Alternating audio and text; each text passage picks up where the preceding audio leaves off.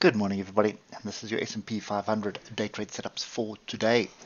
So uh, we are flirting with the neckline of the double bottom we mentioned yesterday.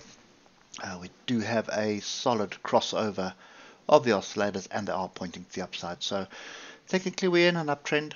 Uh, we're above the moving averages. So moving averages haven't crossed over on the 8 hour. It's been a bit uh, all over the place. But as I said yesterday, more than likely uh, big move up, pull back, big move up, pull back, and uh, we should get going.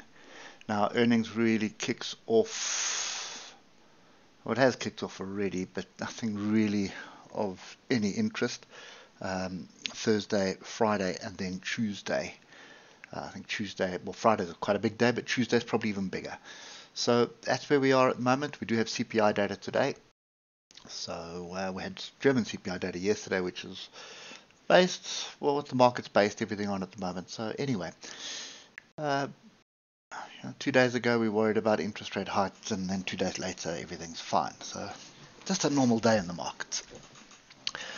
Uh, so for me, is up. We're looking for opportunities to buy, and uh, we shouldn't be getting ourselves bogged down by anything else. We shouldn't actually be being bogged down by the, the noise just look for the structure, look for the opportunities. So just want to get these levels in.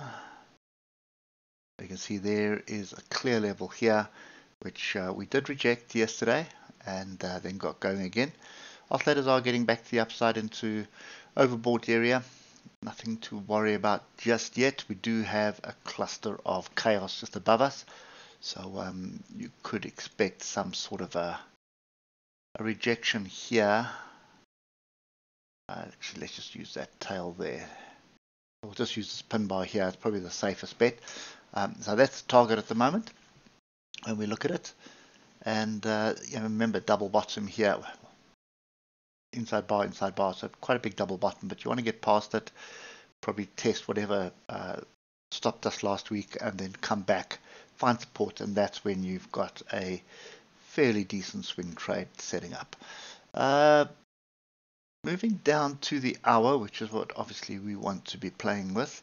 And uh, yesterday was a typical day when moving averages cross over, uh, above, below, and then sort of keep trying to test it. But you can see how the buyers keep coming in with a tail here. Uh, nothing really uh, unique about that. That's if you just go back in time, every time you've changed a direction, this is typically what happens whether it's on the top, you can see there it happened on the top, and here it happened on the bottom. So it's just chaos while people are trying to keep it going. Uh, the, the, bears would have been trying to keep it going, but the bulls were coming in uh, with other ideas. So for me right now, um, CPI is obviously going to impact us, so I'd be a little bit cautious up until CPI.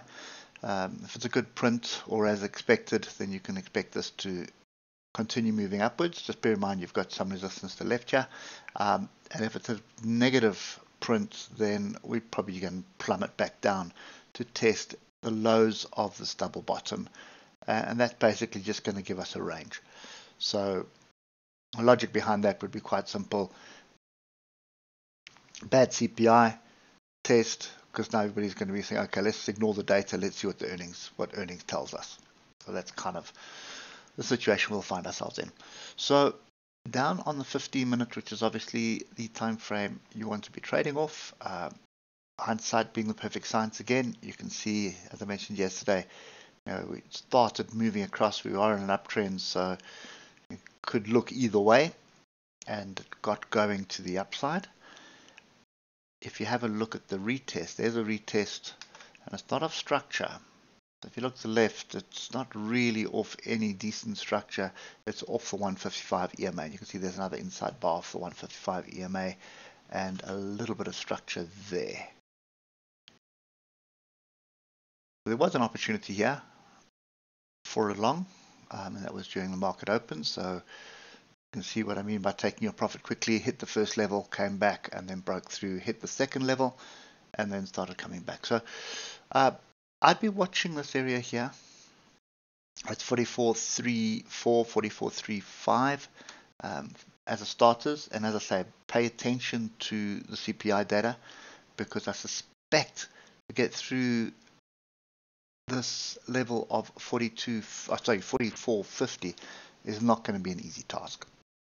So I'd be a little bit cautious by jumping in long here. I want to see a pullback and I'd want to see that after the data, not before the data and during the data because it's going to be quite volatile being CPI. Anyway, that's it for me today. Hope it helps and uh, don't forget to drop us a comment or a like down there and uh, we'll catch up with you tomorrow. Cheers for now.